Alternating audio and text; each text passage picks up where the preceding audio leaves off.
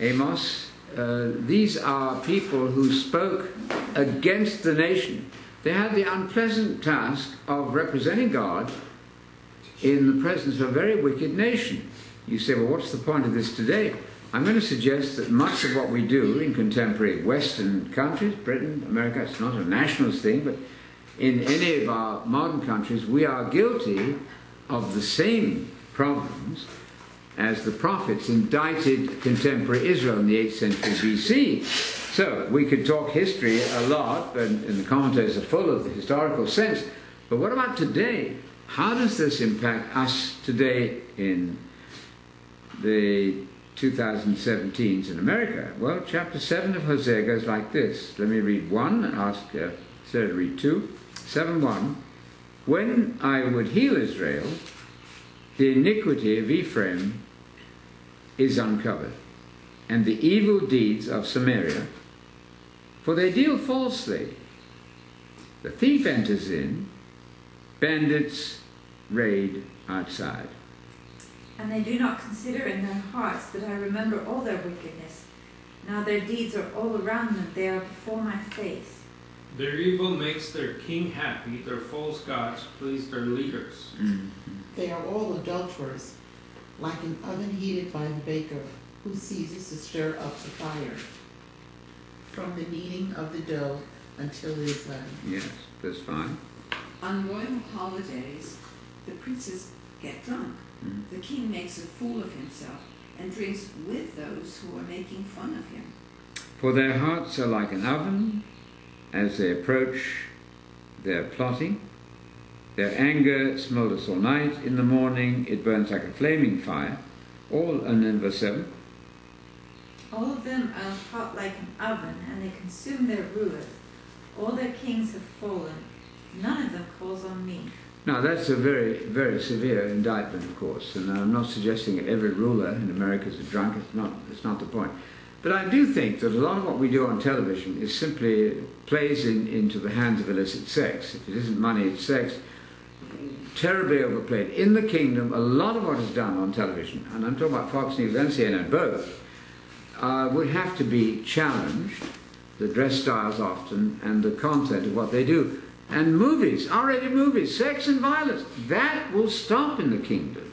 You cannot encourage that in the field of entertainment while claiming to be obeying these uh, laws of God and laws of Jesus. So that would have to change. Now, what really intrigues me here is that you talk about the kings and princes. That's to say, the ruler and his courtiers. Well, do you realize the whole Bible is about who's going to be king and who are going to be the courtiers?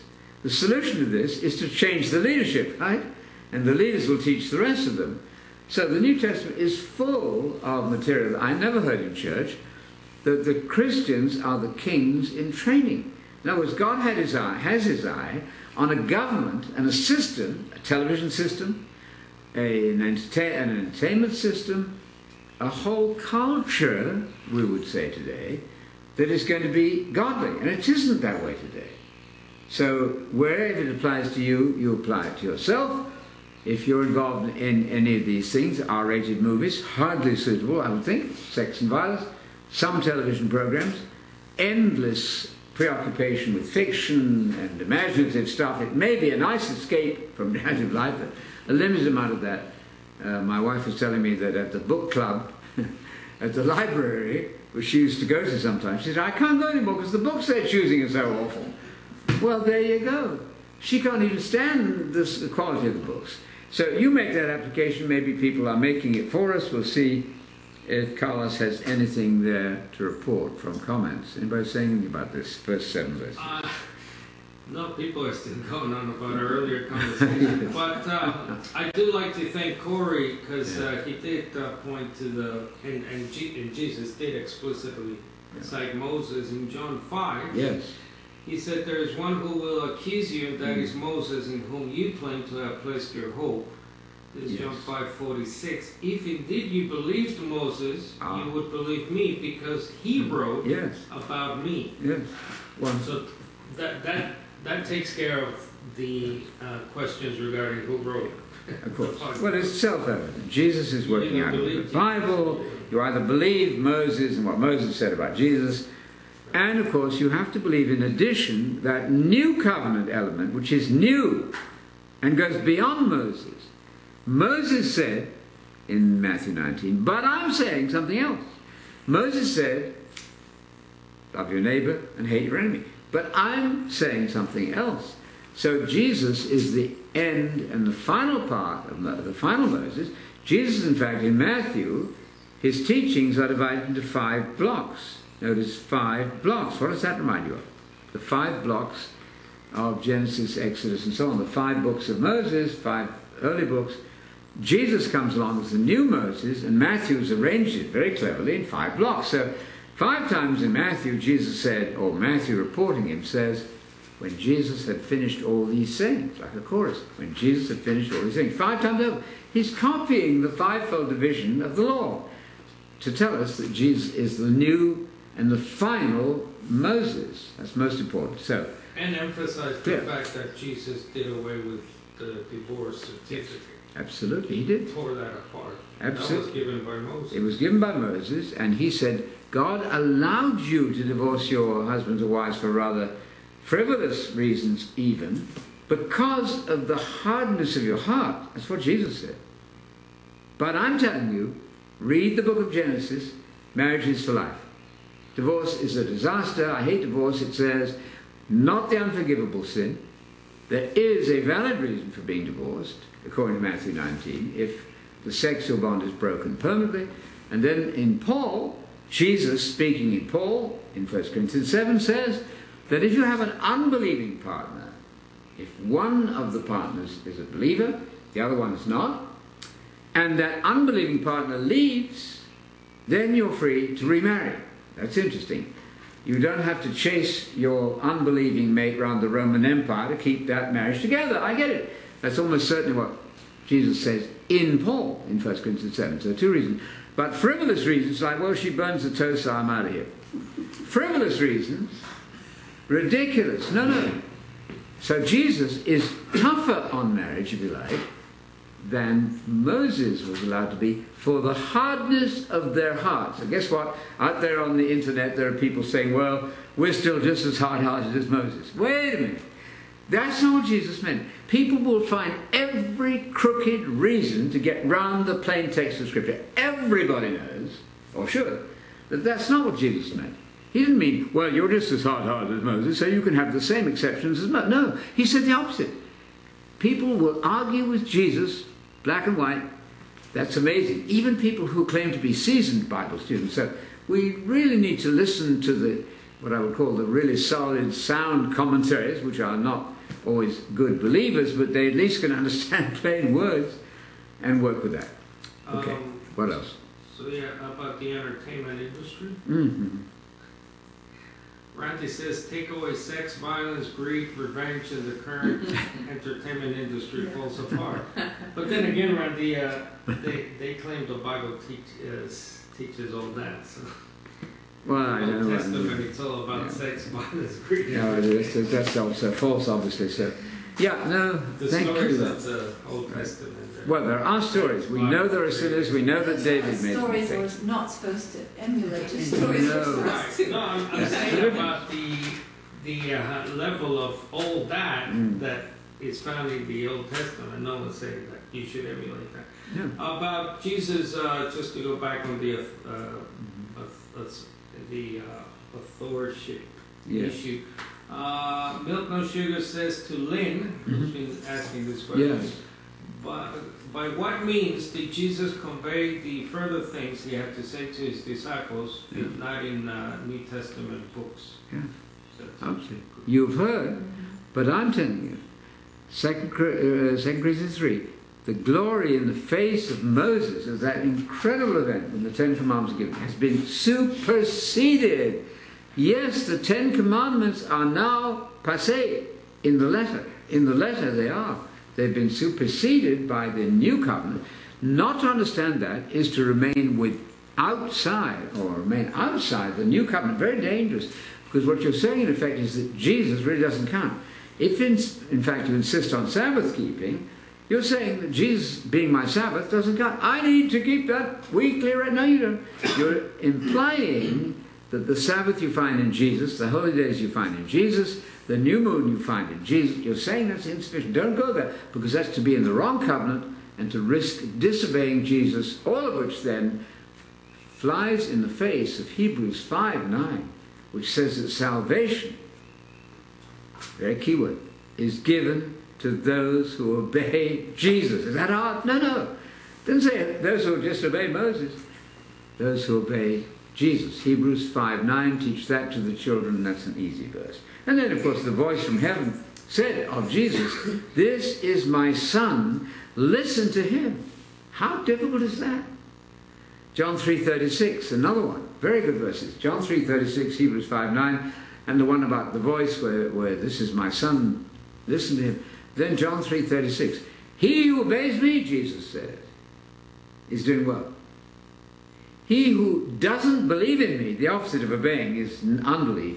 He who doesn't believe in me, the wrath of God is hanging over him. You know, if you're God, you have a right to say that to your creation. The human being ought to listen to the words of God and repent of his errors and get in line with the words of God. Not that any of us, of course, obeys God perfectly. We all sin. That's said in the New Testament too. We all make mistakes, but we better be sure we're not entrenched in some major systematic mistake, as, for example, denying the authorship and the inspired authorship of some of the books of the canon of the New Testament. That's a serious mistake, which I think needs to be corrected. The um, Yeah. just to go back to Hosea. Mm.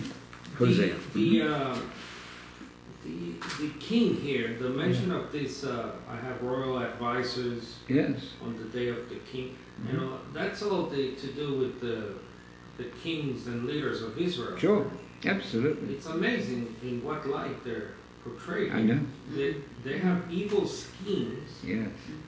uh, and then and then this funny thing I found about the bakers. Yes. They they uh, so these yeah these are the leaders of the people of God. Course. That, is quite That's verse 4. They are all adulterers. God indicted all of those leaders. They were indulging in a lifestyle that qualified as adultery. And yes, there are parallels. You know, the Bible is a very realistic book. I, I'm not an expert at all in baking bread. I fully understand that. But quite clearly, there's a parallel between their overheated hearts and the baking of bread. I mean, you can imagine how that would work. And you can look it all up in the commentaries if you want more detail. But what struck me as interesting is it's kings and princes, verse 5, right? yeah, Kings that's what I was gonna and princes, right? Rulers. And that's not different in the New Testament. So, with that in mind, I will just read to you Revelation 5, verse 10. And just the point about that verse, Anthony, Yes. some translations have or paraphrases Mhm. have they make agreements Yes, with evildoers. good. They they make pacts with Pact with evildoers. wicked people. Good, In that's a good five- one. In five? Five, yeah. Some paraphrase translations have uh, the new uh, version. You're talking about 7, 5? Yeah, it says uh, at the celebration of their king, his princes become inflamed with wine. Mm-hmm. They conspire or Mhm. make agreements with evildoers. Okay, okay. Is that- uh, yeah, it's not quite what the NSV has. In fact, verse 5 has he stretched out his hand with scoffers. Yeah, that's right. Scoffers. And that's a significant word. Letzim in Hebrew is critics. And it reminds me of those scholars, so called, who criticize the Bible. They don't treat the Bible as a tract on immortality, they treat it as some literary piece to be analyzed. They're scoffers. That occurs in Psalm number one. Those people who are doing well are blessed are the ones who meditate in the Torah. They're not like the letzim, the scoffers, the critics. And dare I say it, people who get rid of the book of Hebrews are categorized as critics. They shouldn't be criticizing the book of Hebrews, they should be obeying it. So be very careful you don't become an unbeliever by being a critic in the wrong sense. So it's not evildoers? It's scoffers. A lot of translations have it. Yeah, scoffers. Yeah, that word, there's the scoffers in verse 5. I guess. What- Ry- Ryrie says Hosea describes a particularly despicable time of revelry, Yeah. perhaps a coronation or a royal birthday, Yeah. it says the day of our king. Mm. The Mhm. lusts of the leaders burned like an oven. Mhm. Good stuff. Doesn't comment on the word scoffers there in verse 5. No. So I suppose this is one of the texts that we, people would use to say we shouldn't celebrate birthdays. if, if this was a birthday. can celebrate your wedding anniversary and your birthday and rejoice the fact that you did have a birthday. Why not? Uh, the ERV Yes, said. has uh, people who laugh at God. They make agreements with people who laugh That's at God. So that's part of being a critic of the Bible. Once again, then the Bible is a tract, a vastly big tract on how to live forever. That takes me on to another topic, which is that the newspapers, the AJC this week, full of stuff on aging in Atlanta and how so and so is 94 years old and going to the gym. All of that's good stuff. That person is eating very carefully, exercising, is not heavyweight, and guess what? They're living a long time and they have their own personal trainers on them. And I'm sitting here reading that saying, yes, but there's one question I have. They're not talking about immortality. Fox News is not, nor is CNN. What? They're talking about living a long life now. It's nice to live a long life. Why not? Why kill yourself? Why break your knees by being heavy? I mean, I'm getting near the knuckle here. Why then have to have an operation to, to repair your knees, which you could have prevented? Why fill your, your heart with, uh, or your stomach with fast food, which everybody knows is not a good idea? Well, stop it then.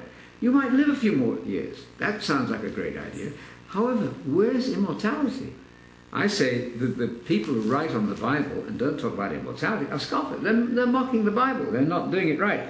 That word scoffers is right there in Psalm 1, 1. Says this How blessed is the man or woman who does not walk in the counsel of the wicked, nor stand in the path of sinners, nor sit in the seat of the scoffers, the mockers, the people who, who challenge the Bible, criticize it, tear it apart, analyze it like some just a, a literary document. You know, well, isn't it interesting? Who wrote Mark? Who wrote Second Peter? Who cares? What does Second Peter say to us? That's the real point.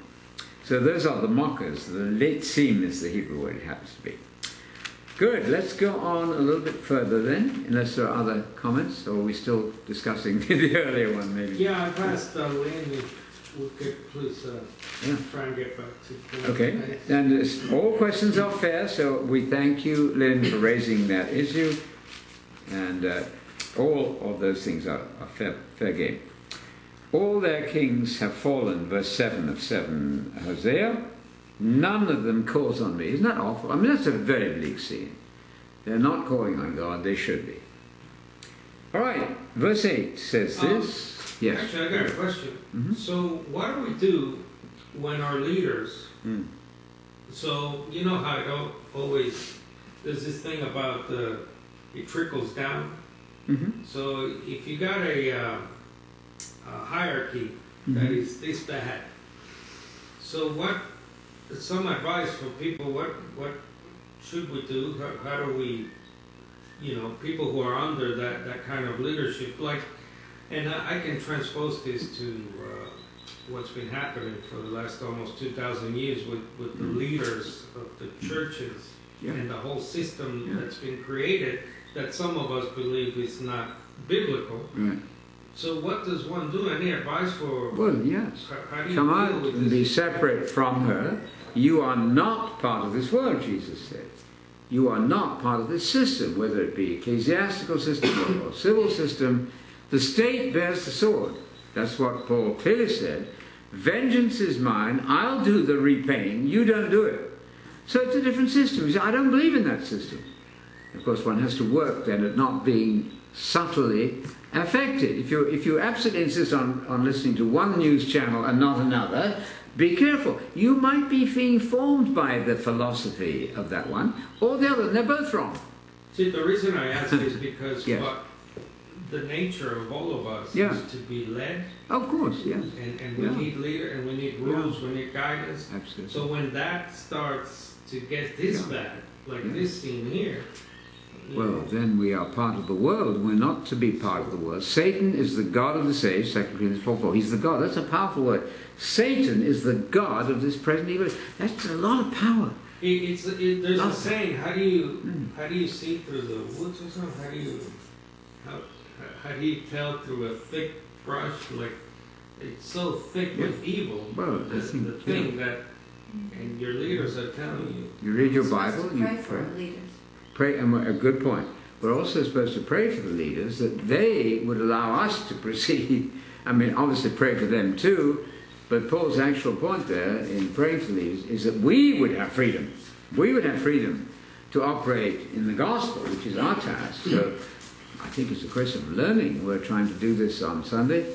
We're trying to do it in our prayer life and in our Bible reading. Oh, I don't want to be like the world. Don't, don't let me be like the world. If there are things that have encroached into my thinking, which are the world, please show me. Send some kind person to tap me on the shoulder. Wait a minute. Why are you so enamored with this or that political party? Why? All of that is not Christian. Jesus is not the government. So something like that. And and to add to that, hmm um, at this year's conference, Yeah. without naming names, you know, I had an experience where, so when people do come out, Anthony, Mm. and from this type of evil hmm thing going on at the top, Yeah. and, and you think what they're telling you was true, but then you do wake up and you find the courage to Yeah. get out and, and, Sure. and be independent of that. But then how do we advise people not to go too conspiratorial, too, I don't trust anything or anyone now, and I'm going to start questioning everything, even as Lynn unfortunately seems to have been Uh, so how do we Well, I mean, it's a matter of common sense and advice, listening to others. If you believe something that from the Bible, as I've said to the students, you believe something that no commentary in any language for 2,000 years ever imagined, Yeah, but the You whole should thing be is rotten, Anthony. Is what? I'm playing devil's advocate. The whole thing is rotten. Yes, right. You tell me to trust evangelical scholars or Catholic Mm. scholars or this scholar. I'm playing devil's advocate here. Well, you- so I, I become a person who's totally, uh, what's that word, uh, skeptical. skeptical Mm. and, and nervy. No, you still have scripture to deal with. You do your best then to get at the Jewishness of Jesus. He was a Jew, claimed to be the Messiah, and then you have to reject the false traditions like Jesus was man but not a man. I did some of that earlier. You reject the idea that he's God because that would make two gods, and so you're getting closer to the truth. And then you do the best you can. That's all you can do. So uh, it's a matter of daily meditation, I think. Here's a good paraphrase of the Psalm 1:1. Yes, what does The it say? one who does not follow the advice of the wicked Good. or turn onto sinner's road Yes, sinner's road. or stay at scoffer's house is blessed. Right, scoffers' house. Criti- I'm, I'm, I'm going critics' house. Critics, in the wrong sense, scoffers' house is doing well. So these are important things. I think one asks, I, I know we in our theological careers have said, oh God, send somebody to help me. You know, if we're wrong, Greg Deuble has the famous. Deuble prayer. Oh God, if I'm deceived, send somebody to undeceive me. That's a, re- a reasonable prayer. And of course, as you said, there are conspiracy theorists. There are people who, in their zeal to get the Bible right, say the earth is definitely flat. Oh, yes, you meet them. There are people in their zeal to get things right who say that the 9 11 towers fell because the government arranged it and did a Photoshop. And there's another one too. That's the flat earth and the, the towers. And there's the idea that there were no Nazis really. Six million Nazis, they didn't really happen. And other things. So, yes, you can become wacko and weird. So, somewhere there's a balance in the community, isn't there? Without being gullible. So, I think that's a, a funny one about the earth. Supposing the Bible actually doesn't tell you what shape the earth is. How about that? Genesis 1 actually doesn't tell you about when the galaxies were started. It tells you about seven days of creation. And then you look up in the sky, and it should, should really be in the beginning, was uh, God created the sky and the earth.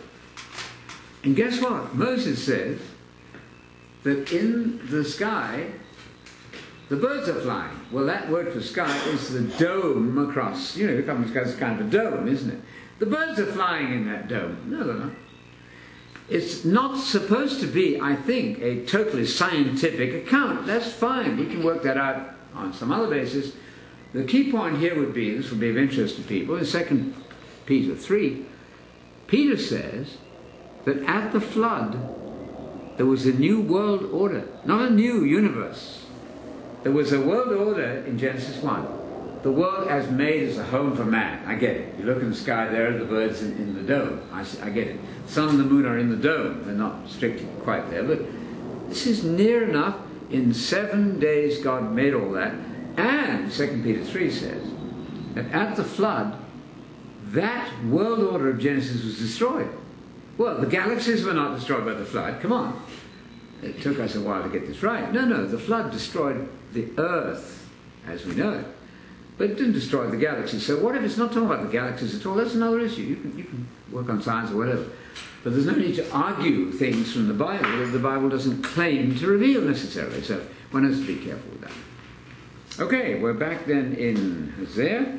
The uh, introduction to chapter seven in my Yes. version uh, says that these people are blinded by sin and devoured by wickedness. Yes, And of course, this applies hugely to us. yes. Um, but we have a responsibility not to be blinded. I Absolutely. think probably in any, in all kinds of fields, not just theology. Yes, yes.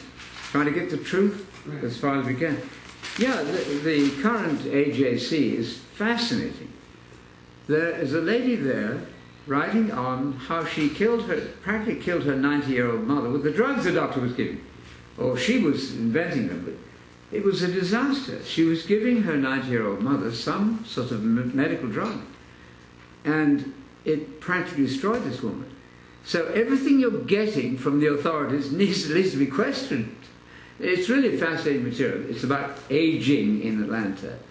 And you can be threatened with death from very respectable sources. You can be taking a drug that's actually causing something else. We heard stories of that at the conference.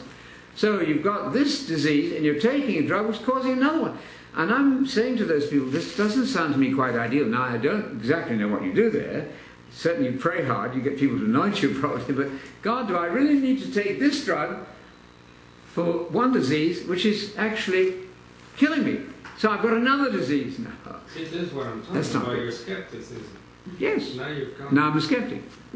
I'm asking childlike questions and I'm listening carefully to all of you guys to advise me because I'm not an expert in that field. But it doesn't make a lot of sense to be taking a drug that's actually causing another disease. That doesn't sound real to me. That sounds somehow wrong. Anyway, uh, Barbara's comment is most interesting. I just wanted to take this section of Isaiah 29 where we are, we are diverting deliberately. But in, in Isaiah 29, Verse uh, uh, uh, let's see, a little bit earlier than that. Uh, let's go to 18. 18. Your covenant with death will be cancelled. We've been talking about covenant. Your covenant with death is going to be cancelled. Don't have a covenant with death. That's a bad idea. And your pact with Sheol, this is verse 18 of, Isaiah 28. I got the wrong chapter. 28. 28, the 28th chapter in 18. Your covenant with death will be cancelled. It's all going to be good in the end. And your pact with Sheol, that's gravedom, where all the dead are. All the graveyards seen as a great, huge place for the dead. Your pact with Sheol will not stand. When the overwhelming scourge passes through, then you become its trampling print, a place. So there's going to be punishment. As often as it passes through, it will seize you. It's a bad scene here. But then in 20, it's still a bad scene. The bed is too short on which to stretch out. The blanket too small to wrap yourself in. God is going to rise as at Mount Perazim. He will be stirred up. God is going to take action, go into action, as in the valley of Gibeon, to do his task, his unusual task. I think that lies in the future. God is going to do a very unusual thing. Right now, he's not just intervening everywhere, obviously punishing people, but he's going to go into action, rise up, to do his task in verse uh, 21.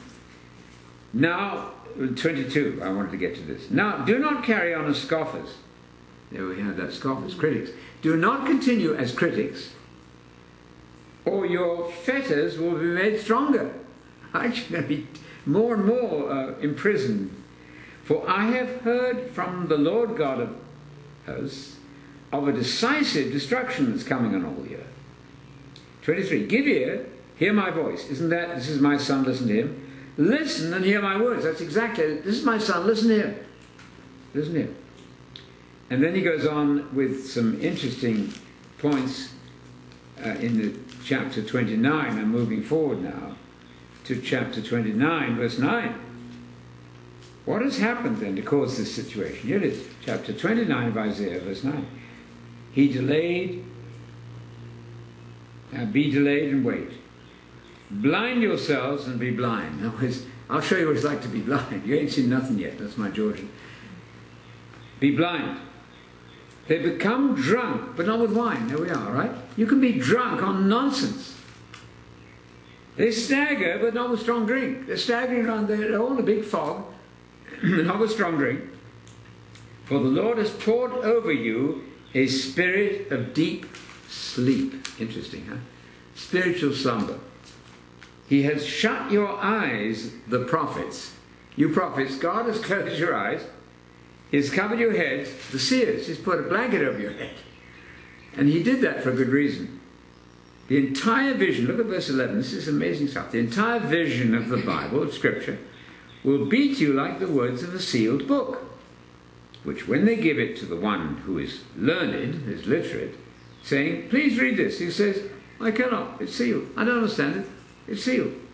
Then the Lord said, because now Jesus quoted this verse. Jesus was very impressed with verse 13.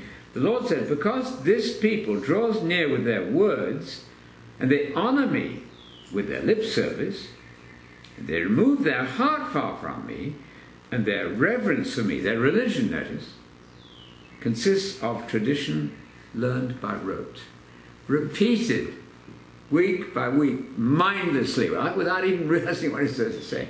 I found that very powerful. Jesus loved that verse. So beware then of theology learned by rote, learned by heart, repeated week after week that Jesus is man but not a man, that he's the begotten son, begotten not made. What, what does it mean? No idea. Then correct that because otherwise we're in bad trouble. All of that is simply to say that if you decide to believe falsehood, God will give you over to a spirit of stupor, so you wind up believing what's false. That's second, you can read this later, Second Thessalonians 2. Talking of the Antichrist, Paul says, Second Thessalonians chapter 2, because a passion for truth they would not receive in order to be saved. I get it. Not a passion for truth so I can be a better Christian. No, a passion for truth in order to be saved. Because they didn't have that passion for truth in order to be saved, God gave them over to a spirit of blindness, a spirit of stupor, so that they would wind up believing what is false. You don't believe what's false. We've been saying, and our good friend there in France keeps reminding us of no sugar, no milk, no sugar, no cyanide, right? You don't want to believe what's false. That's why we're trying to correct everything that's wrong. Because if we persist in believing what's false, God will say, All right, I'll show you what it's like to be blind. Now you really are blind. Now I'll put a sack over your head and you'll be blind.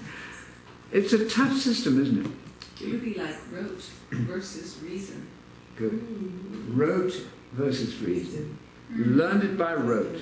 You recite this creed, particularly in the Roman Catholic system, they like to, to even have the service in Latin, so we don't know what it says. Sounds mystical. We don't want to. We don't care what it says. We want it in Latin. We don't understand it, but it sounds good. Dangerous, mystical nonsense. No, not the good idea. Let me add uh, Luke 21. Yes, please. What's that saying? Look at the fig tree or Mhm. any other kind of tree. Yes. When you see new leaves appear, you don't need to be told that summer is near. Right. In the same way, when you see these things happening, understand that the Mm. kingdom of God is about to come. Yes. I tell you the truth, this present evil society will not come to an end. Mm-hmm. Before all these things happen, heaven and earth will come to an end, but my Mhm. gospel words will not. Good. Watch out that you don't become distracted. Yes. This is the pertinent part. Yes. By partying or getting drunk, Mm-hmm. or by the worries of this life. Yes. So this future day takes you by surprise, Yes. like a trap. For that day will come upon everyone who lives on the face of the earth. Mhm. Always keep watch, keep praying, Mhm. so that you may be able to escape all that is going to happen and Yes. stand before the Son of Man. that, isn't that solid common sense? I mean, really, you don't need a whole lot of DDs to explain that. And Paul, by the way, reiterates this in Thessalonians Yes. when he says, Don't be caught like a thief Right. in the night, be awake at all right. times. And like Sarah said, pray for our leaders. Pray for Pray for ourselves that we're not Misled. uh, led into a stupor, Right. is the word Because thieves break in and steal. My good neighbour reported to me that while he was away on a three-week visit, Mm. guess what happened? Somebody bashed a window, stole all of his computers, including the family pictures. That was really distressing. Mm. And the alarm went off, and the police did not get there on time. Gone. Oh, So it can happen even in this relatively peaceful land we live in. So I would pray for safety all the time, and we should pray for those who are very, very sick. We had one gentleman, uh, I won't name him expressly, but we prayed for him expressly, who has a, very serious form of cancer. He's taken all the chemotherapy and it hasn't worked. He's now trying alternatives. We're praying for this gentleman, marvelous person, who has uh, cancer around his carotid artery, very threatening. He's supposed to have been dead two years ago, but he's still living, full of faith. So remember this gentleman that God would spare his life and give him extra years now to be with his wife and family. Okay, we're back in Hosea, covering deliberately, I may say, a number of subjects, a number of topics. A verse leads to another verse, comparing text with text, and we've covered a lot of different issues today. verse 8. Eight. All right, who's got eight for us? You. Okay, Ephraim, this is Samaria, the northern kingdom. Ephraim mixes himself with the nations. Ephraim has become a cake not turned. Strangers devour his strength, yet he does not know it. Grey hairs are also are sprinkled on him, yet he does not know it. Hey, I take objection to gray hair. Ephraim's pride speaks against him. The people had many troubles, but they still didn't go back to the Lord, their Mhm. God. They didn't look to him for help. So Ephraim has become like a silly dove without sense. they call to Egypt, they go to Assyria. Mhm. Twelve. How terrible it will be for my people who have deserted me. Let them die, for they have rebelled against me. I wanted to redeem them, but they have only spoken lies about me. My goodness. Thirteen. 13. Woe to them, that was 13, for they have strayed from me. This is the New American Standard Version. Destruction is theirs, for they have rebelled against me. I would redeem them, but they speak lies against me. 14. And they do not cry to me from their heart when they wail on their beds. For the sake of grain and new wine they assemble themselves. Mhm. They turn away from me. I trained them and made their own strong, but they mm-hmm. made evil plans mm-hmm. against me. Mhm. They turn, but not upward. They are like a deceitful home. Mm-hmm. Their princes will fall by the sword because of the insolence of their tongue. This will be their derision in the land of Egypt. Okay, that's very clear. You know, the Bible is so often full of clear, clear teaching. It really only has one message. That is that we are prone to be evil and wrong. We're supposed to turn and return to God, and then it's going to be wonderful. And this is a classic example of that. Ephraim, Ephraim is the uh, the code word for the northern kingdom, the ten kings, ten kingdoms in the north, as distinct from the three or two, two and a half maybe in the south. That's Judah.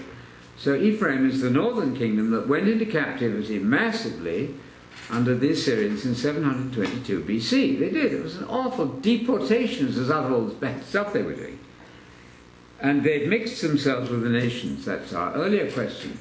We are not to be part of this world, not to mix ourselves with politics, essentially. Obviously, we have to observe what the government does, and all that's interesting, but we're not part of that political system. So to say strongly, you know, I'm this party or I, I support so and so, we can have our opinions certainly on the way things are done, but we're not essentially part of that system. Ephraim has become a cake not turned, and my cooking friends here can advise me on the parallel. I'm not so good at some of these parallels. I, I don't know. I haven't turned the cake. What does that mean? It's Turn- half, half baked. there you go. Half baked. We use that. Thank you. It's like lukewarm. It's weak, yeah. Weak. Yeah. It's like what Jesus Half said. Not thoroughly baked, it's not. No. I'll That's a pretty bad thing. It's half baked. We use that, right? Yeah. It comes right out of this, this- out of the same image. Can, can we apply this to that saying by Jesus where he says, uh, I'll speak you out because you're neither cold? Oh, of course, exactly. But that's a reference to your, Churches. uh, you're not making up your mind? No, it's just you're weak. It's the lukewarm church, the Laodicean word, uh, church. Both, yeah. I mean, that's a terrible indictment. Jesus speaks to one of the churches in Revelation. Because you're lukewarm, you're neither this nor that, you're half baked, I will vomit you out of my mouth. That's a nice thing for Jesus to say. You don't hear many sermons on that, and understandably. But I think my point again is that God and Jesus, who represent God, if you're the creator, you have a right to call the shots, don't you? If you really think somebody is a, disastrous, lukewarm person, you have a right to say, Watch out, I'll vomit you. I mean, you can say that if you're God. And presumably it gets a reaction. Know, no, not me. So that's powerful language. So mixed with the nations. Do not then get mixed up with the nations of this world. Strangers are devouring your strength. See, your, your strength is being eaten away at. I get it. Strangers, foreigners, are eating away at your strength. Yet you don't know it. My version Yes. is very clear here. Worshipping foreign gods has sapped their strength. I love that. Well, I wonder what it's doing today. Absolutely. Mm. Worshipping the wrong God, that's exactly the right point, is sapping your strength. So, what we do by way of teaching doctrines, which is teachings, is to try to help people not to have their strength sapped. These are not boring doctrines to be argued. They're life, you see. Jesus said, The words that I speak to you are spirit and life. You want energy and health and truth. This is affecting your whole person. Okay, look at this. Grey hairs are showing up. he doesn't know it. not looking in the mirror carefully pull out the grey hairs or not even noticing. That's, a, that's a, an image that makes good sense to all of us. Though the pride of Israel, ah, there's the problem.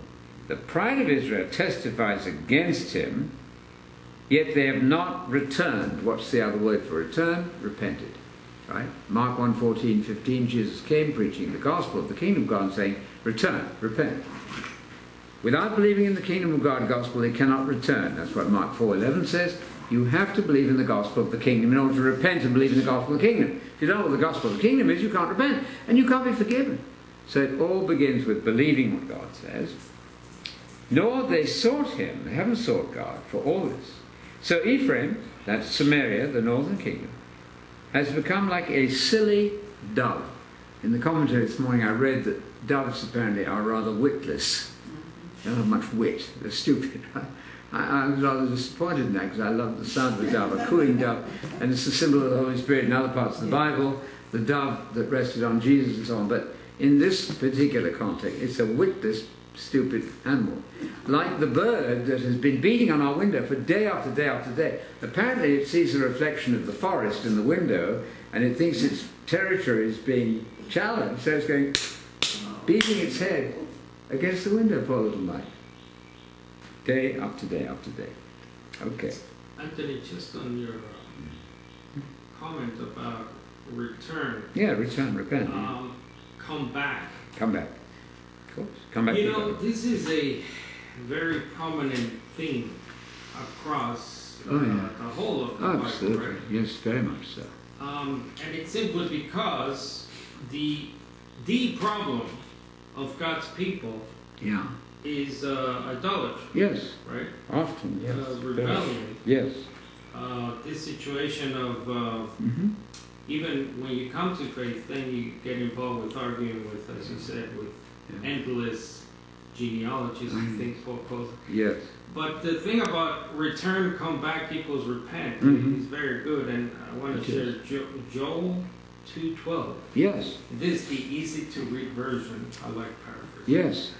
This is the Lord's message. Now come back to me with all your heart. Cry and mourn. Mhm. Don't eat anything. Show, show that you are sad for doing wrong. That's very good. Joel to a nice ERV English revised. Have we shown that? Not, don't, Yeah. never mind between us. If I done you wrong, Yeah. done you wrong, Georgian. Uh, but God, have we done that with God? Sure. Have I expressed Right. uh, this sort of Oh yeah.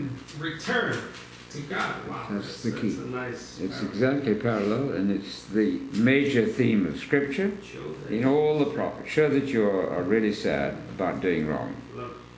Yeah. Ephraim has become like a silly dove, without sense, there it is, without sense, without heart. Actually, Hebrew has heart. The heart, you see, is the seat of the mind in the Bible. It's not the seat of your emotions. And the kidneys?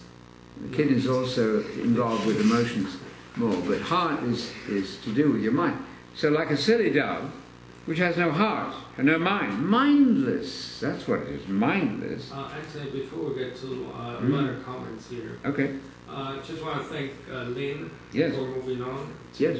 comments here. Um, the baked thing, the half half baked milk no sugar. hmm The church's half baked theological ideas are born of compromise with paganism. Yes. Yes. That's exactly right, and that's Keegan's book. It's, it's a, a, a very solid read, but his thesis is not his own. He didn't invent this, but it's perfectly obvious to famous historians like Harnack, the German historian, and Loofs and others we've quoted, that the church became involved with pagan philosophy. They were Neoplatonists, some of them, before they became Christians, and they liked this Neoplatonic thing, and gradually, not overnight, but gradually, gradually, gradually, they rewrote the creeds in terms of Neoplatonism, giving this Jesus was man, but not a man. That's a disaster. We can go back. We have so much information now. We can read the Bible in its original Hebraic. Uh, Corey shares uh, about all this theme of rebellion and delusion. hmm Uh, Second Yeah. Thessalonians two Good, eleven. good. Using every time of evil trick, the Antichrist Yes, deludes those who are on their way to destruction Yes. because they will have refused. Mm. So it's their choice yes. Yes. to develop the passion for the truth I love it. to ensure their persuase. Uh, sorry, to ensure their salvation. Yes, Because of this, so because we choose Yes. to do this, Yeah. God is going to let loose among them a persuasive delusion so that they put their faith in the lie. As a result, everyone who decided not to believe the truth, yeah. these are paraphrase, Yeah. but delighted in wickedness and wrongdoing will be condemned. That's you were reading from my paraphrase there, the whole thing. Yeah, I, I like what I did there. Sometimes when it's correct, but that part of the translation I think gets it over well. God gave them over to a spirit of delusion to wind up believing what's false. Okay, so twelve then. Here's the punishment part. I will bring them down like the birds of the sky. That's an image from shooting birds, I suppose, or uh, firing arrows at birds. I will chastise them in accordance with the proclamation to their assembly. The, uh, okay, the report, the proclamation to their assembly. 13, woe to them. That's a very powerful word. Woe is the strongest thing you can say. Jesus said to the Pharisees, Woe to you, Pharisees, right? It's not looking good. That's an understatement. Woe to them, for they've strayed from me. Destruction is theirs, God's response now, for they've rebelled against me. I would redeem them, 13, but they speak lies against me. That's a bad idea. They do not cry to me from their hearts when they wail on their beds. They're crying out, wailing, but they're not begging to be forgiven. For the sake of grain and new wine, they assemble themselves. They turn away from me. That's the opposite of repentance. Although I trained and strengthened their arm, that's interesting. God has been helping the nation, training them, strengthening them. Yet they devise evil against me. They turn, but not upwards. They're turning, but in the wrong direction. They're like a deceitful bow. There's another image. on All these images are, are, are very simple, aren't they? They're all born of that society. I don't understand bows and arrows at all, but these people did. They're like a deceitful bow. Their princes, their courtiers, their leaders, their executives will fall by the sword. Because of the insolence of their tongue, this will be their derision in the land of Egypt. Okay, just point this out. That verse 11, the two enemies that they call on, Egypt in the south and Assyria in the north. So we finish with this point. The Assyrian, apparently, is the evil enemy that Israel calls on in the future. Because Paul in 2 Thessalonians 2 is referring to the Antichrist. And he says that that Antichrist is going to be killed by the spirit of the sword of the mouth of Jesus at his second coming. And he's there quoting from Isaiah chapter 11, verse 4, where it's the Assyrian, the king of the north, almost certainly Daniel 11. Assyria is a geographical term in the Bible which could include Iran, Iraq, and even Persia, because in Ezra 6.22, Persia is called the Assyrian. So it's a geographical area, it's Middle East, you see. A lot of prophecy studies went wrong, I think, when they thought Europe was the bad guy. Now, Europe could be involved in all that, I don't know. But the essential enemy is either Egypt in the south or Assyria in the north. The king of the north in Daniel 11, the Assyrian Antichrist of Isaiah 11.4. So when we have this compact, apparently for seven years, a false compact, they will make a compact, a contract, a covenant for one final period of seven years with the Antichrist. In other words, Jewish people in the Middle East will say, peace and safety is going to come now if we can just ally ourselves with this or that country. That's going to be a bad idea. It will look good for three and a half years. But in the middle of that final heptad, that final period of seven years, that evil guy will turn out to be a beast, you see. He starts by being smooth, then he turns into a beast, and then he attacks Israel. So the last scene in the Bible is always a vicious attack on Israel. Zechariah 12, verse 3, for example, especially in the Septuagint version, they're very powerful.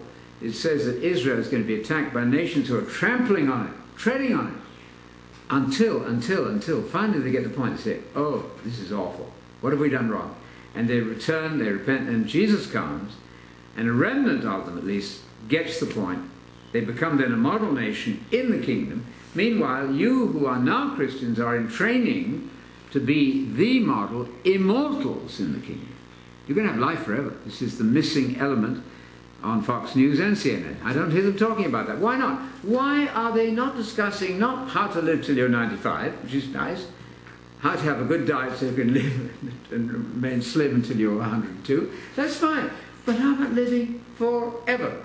Your job, being the ones who know about living forever, immortality, your job is to infiltrate into the system, drop hints here and there, and see, as uh, for instance, one of the ladies at the gardening meeting, where we had a, a nice meeting about birdsong, and I started talking to her about the kingdom.